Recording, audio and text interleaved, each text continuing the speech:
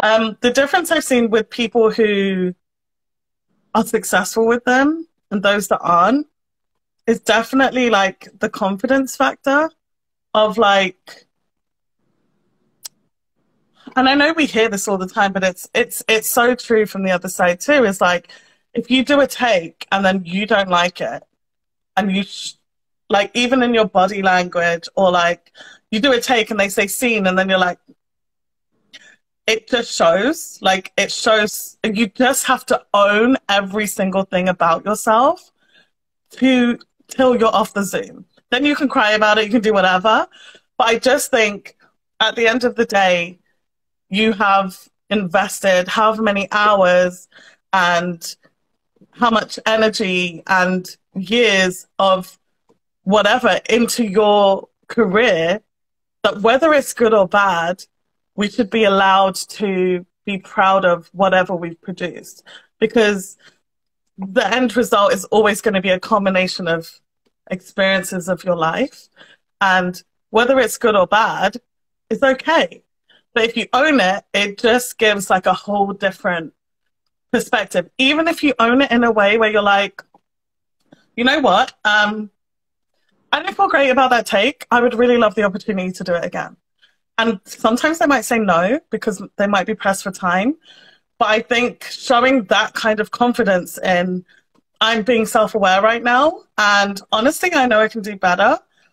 That you have nothing to lose by asking. And I, listen, I'm preaching to the choir here. From I'm this is casting hat one, but I know when it's me, I'm like, thank you hi like you know because it's it's it's, it's like a whole different right? Oh my gosh i wasted uh, time what am i doing here? I don't i don't even deserve to be here and we don't feel like we did we're there for a reason right? Yeah. Like we're trying to make yep. their job easier and get a cast because we can do it and they 100%. believe that we can do it and then we just don't believe in ourselves and we we just like we isn't that crazy? Like we literally sacrifice so much to be able to do this and then don't believe in ourselves when it matters the most.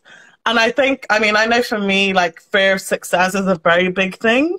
Like I have equal parts fear of failure and fear of success, which just puts me in this weird like bubble um, where sometimes I thrive and sometimes I just beat myself down. But I, I, yeah, I don't know. It's it it's interesting watching it from the other side. Like at the end of the day, you can only control so much and as a performer you control even less. And all you can do is be responsible for your own work. And that is it. That is the end of you can't send cookies after the fact and hope you get the job. You can't you know beg for the job. You can't call call your agent and be like get me another audition because I, I messed up. You just all you can do is own your work whether it's good or bad and take responsibility for it. And find a way to feel proud of something, even if it's 2%. Find a way to feel proud of something because to stand in front of a Zoom camera or even in person in front of intimidating people behind a desk and put yourself out there and be vulnerable and, and share yourself as an artist is fucking hard. And we do not give ourselves enough credit for it. And this whole industry is pretty thankless when it comes to that.